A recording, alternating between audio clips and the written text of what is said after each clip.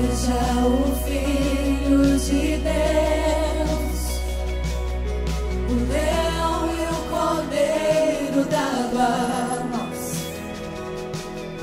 o véu se encarnou, salvador da minha alma.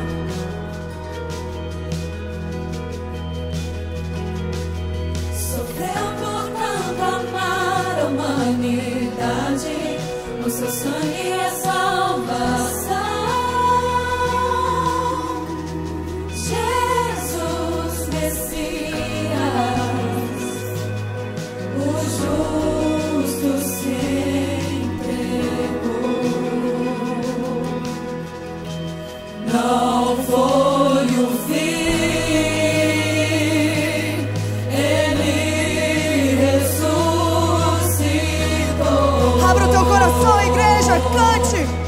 the